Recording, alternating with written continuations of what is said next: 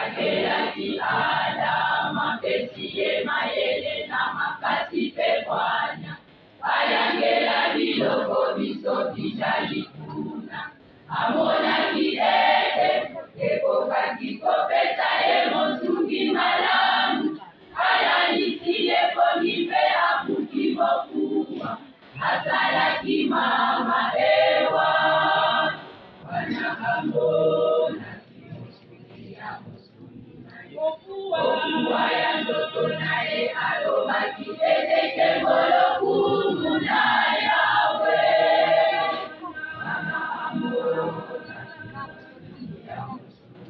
Move